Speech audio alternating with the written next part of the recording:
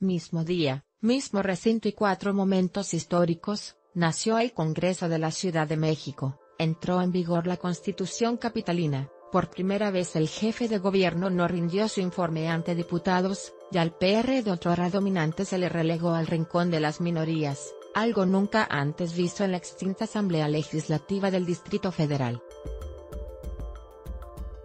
Ayer en la sede del Congreso de la Ciudad de México el ambiente fue de fiesta para Morena y los suyos, no así para el resto de los partidos. Claudia Sheinbaum fue recibida con aplausos, y ella les correspondió con un saludo personal, entre selfies y abrazos. El jefe de gobierno, José Ramón Amieva, se vio eclipsado por Sheinbaum, aunque los diputados de Morena le brindaron el saludo, no le aplaudieron. La bancada de Morena tenía el guion ensayado y, como lo hicieron sus pares de la Cámara de Diputados, apenas terminaron de rendir protestas se volcaron en un su mantra, es un honor estar con Obrador.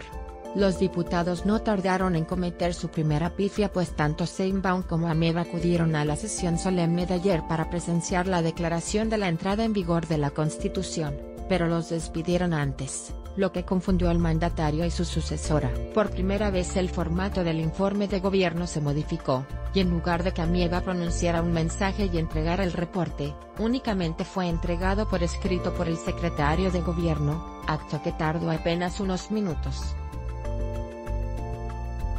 mayoría se hará sentir en los posicionamientos de las distintas bancadas hubo un sentir general, los grupos parlamentarios que son minoría combinaron a Morena no legislar con mayoriteos, sino privilegiar el debate y el consenso.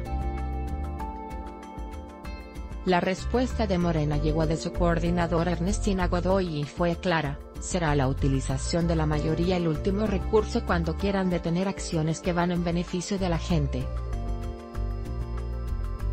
Antes el coordinador del PAN, Mauricio Tabe, les dijo, está en ustedes decidir si esta mayoría que reconocemos se convierte en una hegemonía aplastante que le abra la puerta al restablecimiento de un viejo régimen, pero está la posibilidad de construir una nueva historia de pluralismo y de integración. En tanto Morena hizo una jugada de último minuto para acaparar tanto la mesa directiva como la Junta de Coordinación Política al ceder un diputado al PS2 al PT, que además sumó a otra diputada del PRI y ahora tiene seis legisladores, igual que el PRD. Así, Morena quedó con 34 legisladores, el PAN con 11, el PT con 6, el PRD con 6, el PRI con 5, el PES con 2 y el PVM con 2.